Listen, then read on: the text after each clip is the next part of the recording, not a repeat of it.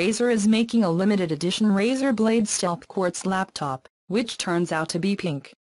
It's on sale just in time for Valentine's Day, and, in the words of Razer CEO Min Liang Tan, will steal hearts everywhere. This is not the first time that Razer has been producing pink gear. The company launched four Quartz products last year, but this year's lineup is much more extensive. There is a Basilisk mouse, a Huntsman keyboard, Kraken headphones, Seiren X microphone and more that join the line of pink tones.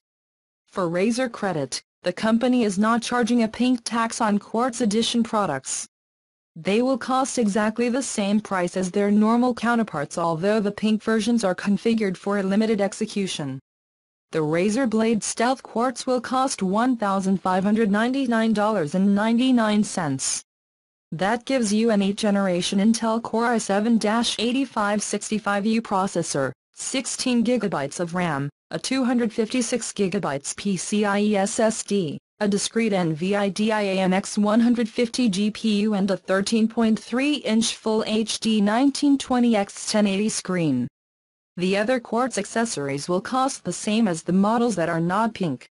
This new pink laptop is part of a recent Razer trend, its Blade laptops have acquired more mature designs and alternative colors such as the Metal Blade Stealth Blade, the White Blade, and now this new pink option, and the company has started to sell more accessories in colors that are not black neon color.